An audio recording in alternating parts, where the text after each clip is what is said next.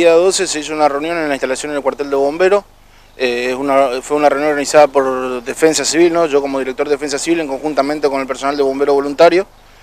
para realizar una jornada de capacitación a las distintas brigadas que tenemos hoy en día en los hoteles de 4 y 5 estrellas y a su vez también empresas como el Beauty Free Shop y Guasú Argentina, que es donde hay movimiento de gente en masa. ¿no?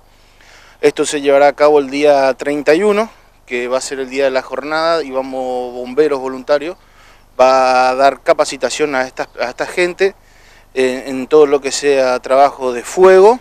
y así también en protección personal, qué uniforme, sería qué elementos personal tienen que tener ellos para acudir a un principio de incendio dentro de, la, de las instalaciones donde ellos trabajan.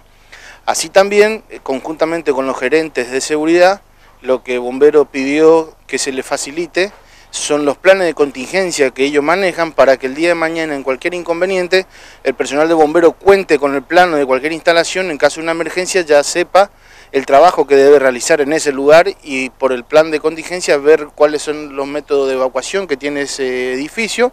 así también donde están los nichos hidrantes y los distintos matafuegos y trabajar en conjuntamente con el personal de ese lugar porque ellos, ellos se basan a ese plan de contingencia, entonces bombero también tiene que trabajar bajo ese plan de contingencia. ¿no? Tenemos más de un millón de habitantes visitando lo que es nuestra ciudad y en, cualquier inconveniente que tenga una de estas entidades, la primera respuesta siempre le da al brigadista, que por eso es ver la capacitación de ellos y dar de lo nuestro lo máximo posible para que ellos también aprendan y trabajar, como decir, una misma sintonía y que el personal que esté en el lugar sepa lo que debe hacer hasta que llegue la respuesta de bomberos.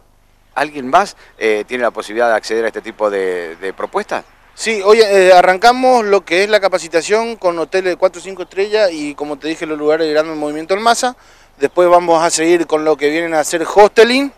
y distintos hoteles de menor porte y así también después estaciones de servicio, eh, grandes de mercado y supermercado para trabajar con la gente que en caso de un siniestro el personal que esté dentro de ese lugar sepa lo que debe realizar, ¿no?